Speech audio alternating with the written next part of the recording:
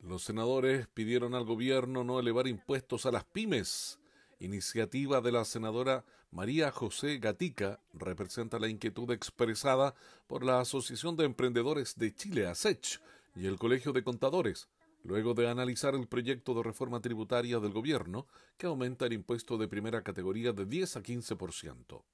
A través de un proyecto de acuerdo, la senadora Gatica solicitó al presidente de la República mantener en 10% el impuesto a la renta en las pequeñas y medianas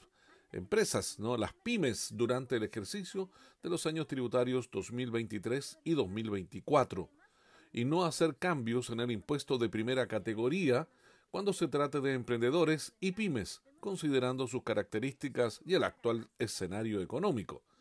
La legisladora dijo que estos agentes económicos han visto mermadas sus rentas por el adverso escenario económico y aumentar el impuesto de primera categoría de 10% que tienen actualmente al 15%, como propone el Ejecutivo, impactaría directamente en sus ingresos.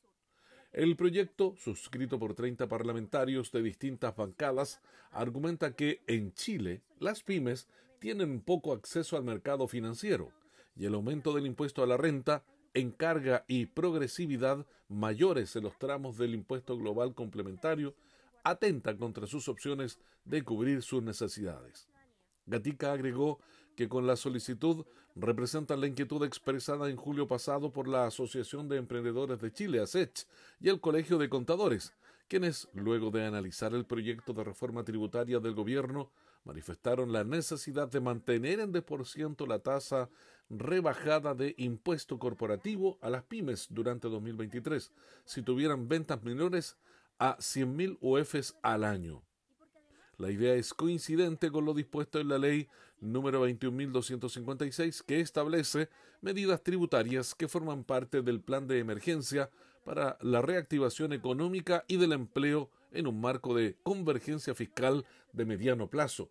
con una disminución transitoria al 10% de la tasa del impuesto de primera categoría por los años tributarios desde el 2021 al 2023.